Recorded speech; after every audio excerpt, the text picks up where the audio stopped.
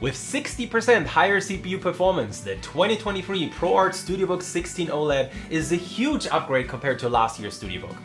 The Intel 13th Gen Core i9-3980HX we're using is basically a desktop CPU with 8 performance and 16 efficiency cores, running it up to 5.6 GHz, close to 6 GHz in a laptop.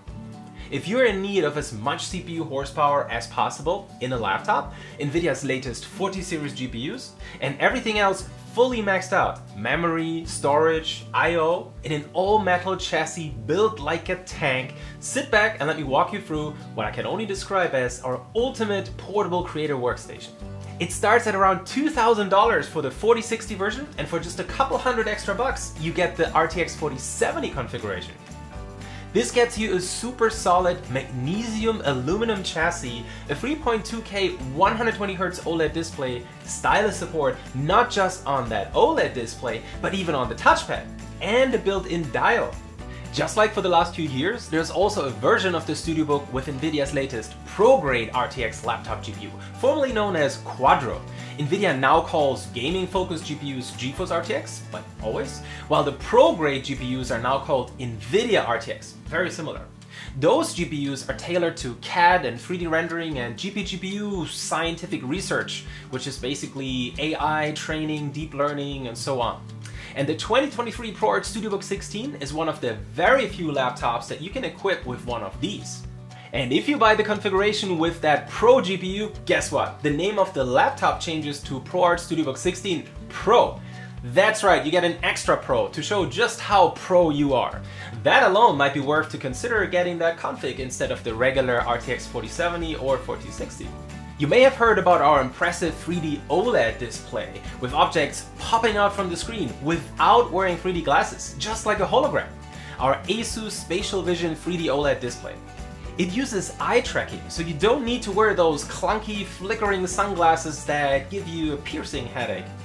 We showed it off at CES and it was overwhelmingly well received. Both the ProArt StudioBook 16 and our VivoBook Pro 16X are getting this impressive new 3D OLED panel. We will have a dedicated video just about that panel alone since there's a lot of cool stuff to show and talk about. But that will be later in the year, close to when you can actually buy that 3D OLED version of the StudioBook 16 and the VivoBook Pro 16X. Now let's start at the beginning with some good old unboxing, and then I'll walk you through all the cool specs and features of our 2023 StudioBook 16.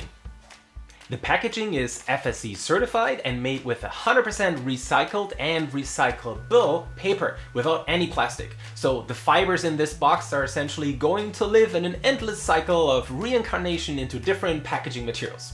Here's the main box that holds the laptop, nice and premium, all black. The 240 watt adapter can be found in this box over there. It's 76 millimeter wide, 165 millimeter long, and 25 millimeters thick, and weighs around 570 grams. Pretty compact and lightweight. To give you an idea, that's about as thick and heavy as three smartphones stacked on top of each other. Pretty good. Now look at this 16-inch, 2.8 kilo mobile workstation. It's entirely made of aluminum and magnesium aluminum alloy, dyed in a classy mineral black. You can see the signature ProArt StudioBook branding not just on the lid over here, but also on the bottom, which is a nice touch. While it looks similar, this is actually a brand new chassis, and to better highlight the changes we made, let me put our 2022 StudioBook next to the new 2023 StudioBook for some side-by-side -side comparisons. As you can see, the 2023 version is slightly deeper, which gives it extra space for cooling. But don't worry, this doesn't mean you sit further away from the screen. On the contrary, you sit closer to it. We pulled the entire display forward, so you sit closer, you get a bigger effective screen, better cooling, and better airflow. You can open it up with a single finger, and look at that display. At 3.2K, it's slightly lower in resolution than the 4K we had in 2022, but I can't see the difference even when looking at it really close up. What I can see though is the refresh rate that has doubled to 120 Hz now. I'll take this 120 Hz over the 4K 60Hz panel hands down. This OLED display is arguably the most premium panel you could want on a creator laptop. You get 550 nits of peak brightness, the same 100% DCI-P3 cinema-grade color gamut used by Hollywood, and it's Kalman verified. You get rich and vibrant colors, a 1 million to 1 contrast ratio, an incredible industry-leading 0.2 millisecond response time for the best possible motion clarity, making fast-paced visuals sharp and blur-free. And it's a touchscreen! Which is great, not just for intuitive input, but also stylus input, since it supports MPP 2.0 styluses with up to 4096 pressure levels. Okay, moving on to the keyboard area. So what stands out right away is that the touchpad is much bigger on the 2023 StudioBook 16. We basically merged the physical touch buttons into the touchpad itself and then stretched it out some more. Basically, you guys told us you want the touchpad to be as large as possible, and so that's what we did. We made it 28% larger. Not only that though, the size is very specific. It's a perfect 16 by 10 aspect ratio, just like the display. And there's a reason behind that, and this has to do with the stylus support. Just like the original StudioBook, which was the first laptop to do this, the StudioBook until today is the only laptop that supports MPP styluses on the touchpad. So it's like having a digital drawing board built into the laptop itself that's always right there at your fingertips when you want to sketch or take notes or tweak some content. And the reason it's 16 by 10 is because any other aspect ratio would mean lines you draw on the pad would be distorted on the display, warped or slightly bent, which you definitely don't want. Very nice attention to detail from our StudioBook team there. Now, I know some of you guys will be sad to see the physical touch buttons go. I am a big fan of those too. But to make up for it, we added our haptic touchpad feature, the same as on our ZenBook Pro 16X, which we launched last year. This gives you a nice click feel that you can even adjust and fine tune to your liking. It really feels like an actual click. I would have had no idea that it's not a normal clicky touchpad if our engineers had not told me. It sounds and feels exactly the same. The keyboard layout is exactly the same as on the 2022 model, and that's a good thing. It meets our ASUS ErgoSense standard. It's designed to be ergonomic and comfortable and comes with as much of a standard desktop keyboard layout as possible. All the buttons are where they should be. The key spacing is exactly the same as on a desktop keyboard, 19.05mm from the center of one key to the next. Go and measure it yourself if you don't believe me. Why does that matter? Well, that's important so all the muscle memory you build for a decade or even more of what key is where on the keyboard and how far do you need to stretch your fingers to reach a certain key, it all just works and you don't have to relearn how to type on a completely different keyboard layout. It has a nice key travel, nice tactile feel to it, it's very quiet, well-balanced keys, and there's a number pad. And the keys aren't flat because your fingers aren't flat, are they? The keys have a nice ergonomic 0.2mm curvature to them, which doesn't sound like a lot, but makes typing more comfortable, especially during long sessions. And they make you type better? How does that work? Well, they help you hit all the keys center on because you subconsciously feel if you hit a key on the edge thanks to that curvature. So it basically, very gently nudges your fingers to the centers of the keys. The dial is right where it should be and hasn't changed, exactly in the same spot. And it's the same nice tactile dial, but it's now fully programmable. In our ProArt Creator Hub, you can create custom dial menus for specific apps that are selected once you launch the assigned app. And even better, now not only works with all major Adobe apps, thanks to our partnership with Adobe. By the way, we bundle 90 days of Adobe CC All Access with the StudioBook. The dial now works with pretty much any app, like DaVinci Resolve or web browsers, because you can now assign keyboard shortcuts to the dial. So anything that can be done with a keyboard shortcut can be assigned to the dial. So you can use the dial to adjust the screen brightness, then the speaker volume on the laptop, then skip forward through a video in YouTube, for example, then adjust the volume of that video on YouTube, then scroll through the browser tabs to a different website. All of this just with the dial. From creativity to entertainment, productivity apps including Adobe, Spotify, YouTube, Microsoft Office, and many more, all our ASUS dials on any of our devices from mouse, monitor, laptop can now be used pretty much for anything. Our ProArt Creator Hub is also getting a facelift, a fresh new UI, and new features.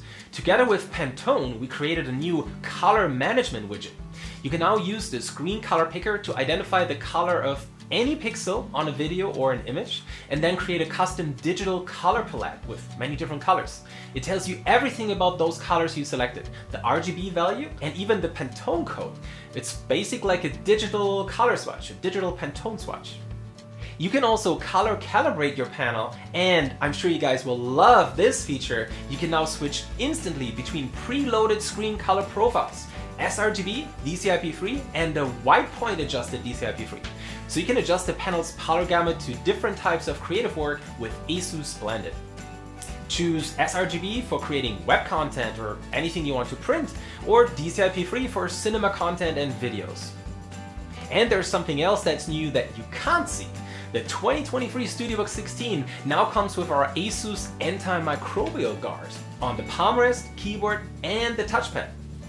It's a non-toxic silver ion-based coating that, well, isn't toxic to humans or pets and so on, but it is toxic to bacteria and microbes, slowly breaking down their cell walls.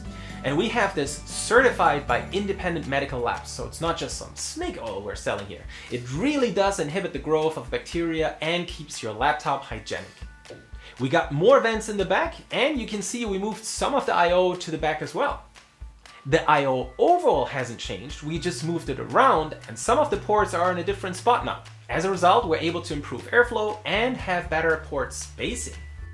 In the rear, we have a 2.5G LAN port, perfect for sharing massive project files over the network or accessing a NAS a DC in jack for the 240 watt adapter, and an HDMI 2.1 port. And yes, a real actual 2.1 port. Not one of those 2.0 ports that has been rebranded as 2.1, but they can still only really do 4K 60. The StudioBook 16's HDMI port supports 4K 120Hz and 8K 60Hz. On the left, we have a USB 3.2 Gen 1 Type A port, 5 gigabits per second, a 3.5mm headphone jack, and a full-size SD Express 7.0 card slot. That's the latest version of the SD card spec, which reaches close to 1 gigabit per second. That's three times faster than UHS 2 cards, which is what most people are using right now. Moving on to the right, we have a Kensington lock, USB Type-A 3.2 Gen 2 for 10 gigabits per second, and two Type-C ports. Now both of these Type-C ports are fully maxed out. Thunderbolt 4, full 40 gigabits per second, and both support 100 watt PD charging. Also, both come with a DisplayPort video signal for external monitors. So you can charge the 2023 StudioBook 16 with that bundled 240 watt adapter in the back, or if you're on the go and you don't need the full performance, you can power and charge it with any Type-C PD adapter, let's say from your smartphone. And you can connect up to 4K 120Hz or 8K 60Hz monitors and TVs either to the HDMI 2.1 port or any of the two Type-C ports. Wi-Fi wise, you're getting the fastest and most reliable Wi-Fi solution on the market with Intel's Wi-Fi 6E adapter. So you can upload and download at high speeds and have video calls with a reliable connection wherever you are. There's another thing that we improved that you can't see. We significantly improved our quality control lab, both in size, machinery, and manpower, to invest into making our laptops even more durable. All 2023 ASUS laptops are now tested in accordance with the world's strictest US military standard 810H. Compared to other brands, we hold ourselves to a higher standard, bringing you top tier reliability and durability. We now run all our laptops through 26 tests consisting of extreme temperatures, humidity, and drop tests. So just like with a good pair of jeans, buy better use longer. While it's unlikely your laptop gets caught in a blizzard or is heated up in an oven, any improvement does make it an overall sturdier product, and it will be easily able to make it through your day-to-day -day life. It will last longer, and as a result, make it a more sustainable product. Thanks to no less than four microphones, two facing the front and two facing the back of the display, and our ASUS AI noise cancelling technology, you are heard loud and clear in any scenario, while background noise is being filtered out. You can even select different modes. The single presenter mode filters out all ambient noises, making your voice more clear and crisp. And for conference calls, you can switch to multi-presenter mode, which normalizes all separate individual voices. So when you're sharing your laptop with others and you have a con call together, the voice of somebody that sits a little bit off to the side sounds just as loud as you sitting in front of the laptop. The webcam is 1080p Full HD and uses our 3D NR technology to remove noise, improve colors, and contrast. You get a couple of neat webcam effects in MyASUS as well that take your video calling experience to the next level. And with a keyboard shortcut, you can instantly toggle the webcam on or off. Thanks to our ASUS AiSense camera adaptive dimming feature, every time you look away from the screen, the 2023 StudioBook 16 dims its display to save battery. And as soon as you look back, it pops back to high brightness. And don't worry, if it bothers you and you find it a little distracting, don't care about the battery life boost it gets you, you can simply switch it off. It took me some getting used to, but it was pretty snappy for me and didn't actually bother me that much. And every bit of extra battery life is always nice to have, so I used it. Speakers! Where are the speakers? There they are. To match the unparalleled visual experience, the speaker system on the 2023 ProArt StudioBook 16 is Smart Amp boosted and Harman Kardon certified. It is loud and clear, and thanks to Dolby Atmos, you get a nice virtual surround effect, which is even more impressive when you're using headphones. Now my favorite part, let's pop the hood. Over here, we have a massive 90 watt hour battery, and here we have that Core i9 13980HX. Like I said, it's basically a desktop CPU with the full 8 performance cores, while regular laptop CPUs usually just have 6. And then there are the 16 efficiency cores that add quite some extra horsepower for any heavy multi-threaded app or multitasking. The CPU can turbo up to 5.6 GHz, and it really blows my mind that we're getting close to 6 GHz even on laptops now. We run this chip at 110 watt in heavy CPU loads, which is a nice 10% boost compared to last year's model. And the GPU over here now runs with a TGP of up to 130 watt. That's 105 plus 25 dynamic boost, and that's a nice 10 watt boost compared to last year's model as well. This one is an RTX 4070, but you can also get the 2023 StudioBook 16 with an RTX 4060 or that NVIDIA RTX ProGrade GPU. This ProGrade GPU, formerly known as Quadro, is specifically tuned for professional creators and all major research and 3D modeling and rendering tools. Besides a nice performance jump, you get DLSS 3, AV1 support, and a couple more Ada Lovelace features, along with access to NVIDIA Studio drivers. And surprise, the 2023 model now comes with a MUX switch for a nice performance boost in some 3D games and apps. Thanks to Thermal Grizzly's liquid metal, we can push the CPU to a higher TDP and turbo for longer. And not just that, it lasts several times longer than regular thermal paste, so even after several years, you get the same temperatures as on day one. We improved the airflow throughout the entire chassis. So you guys saw the new hinge mechanism and position. We also added a lot of extra air intake through the keyboard. This not only helps to boost performance, it actually lowers the surface temperature by a few degrees compared to last year's model. So much higher performance, higher TDP, higher TGP, yet lower temperatures. And it's really quiet. In standard mode, it's below 40 decibels. Over here we have our two memory slots. By default they come equipped with two 16GB or 32GB of DDR5 5200. But as you can see, it's actually really easy to upgrade them. And here are our two M.2 SSD slots. Both full-size 2280, both PCI Express Gen 4 with 4 lanes for full speed, and by default they come equipped with up to a 4TB SSD, and you can run them in RAID 0. Heck yeah! And that's it. Let me sum it all up. The 2023 ProArt StudioBook 16 is arguably the best content creator laptop you can find on the market. It comes with a massive performance boost compared to last year's model, runs both the CPU and the GPU at higher wattages, while actually running slightly cooler at the same noise levels. It comes with the most premium display you can find. There is no display on the market with better contrast, color accuracy, and pixel response time than this, hands down. It has all its I.O. fully maxed out, comes with a dial, stylus support on the screen and the touchpad, and all packed in a rock solid premium magnesium aluminum chassis at only 2.4 kilos. Here are the three configurations you can get. The Core i9-3980HX with an RTX 4060 and that beautiful 3.2K 120Hz OLED touchscreen display starting at around $2,000. And from there, if you have a big enough wallet or you need more performance, for premium, a couple hundred bucks, you can then upgrade to either the RTX 4070 or that NVIDIA Pro-grade laptop GPU. And just a reminder, we will have a dedicated video about that hologram-like ASUS Spatial Vision for the OLED panel in a couple of months to show you all the cool stuff you'll be able to do with it. So stay tuned for that one. Okay, I hope you enjoyed this video and I left no questions unanswered in this overview of our 2023 ProArt StudioBook 16 OLED and ProArt StudioBook Pro 16 OLED, the one with the Pro-grade GPU. Let us know in the comments what you like the most or if you have any questions or suggestions. Thank you for watching. Take care, everybody.